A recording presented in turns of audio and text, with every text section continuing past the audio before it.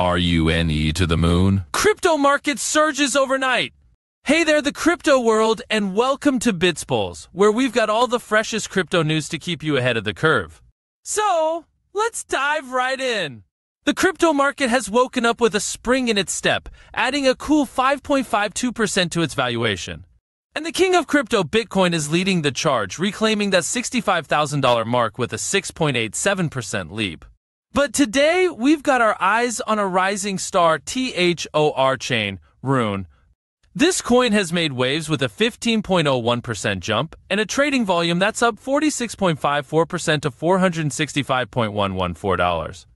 Looks like Rune is ready to challenge the big boys. After a bit of a dip, THORChain has rebounded in style, hinting at a potential bull market. The price is knocking at the door of $6.575, and if it breaks through, it could set its sights on $8.250. And who knows, with a little luck, we might even see Rune hit $10 this month. But hold your horses there, folks. If the market turns sour, RUNE could slide back down to its support level of $4.75. So keep a close eye on the charts and don't get too caught up in the excitement. Now, before we wrap up, it wouldn't be fair not to mention our sponsor, Paybis.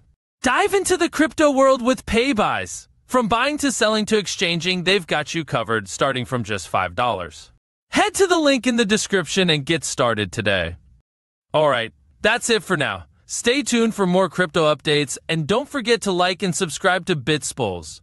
Keep those crypto dreams alive and we'll catch you in the next one.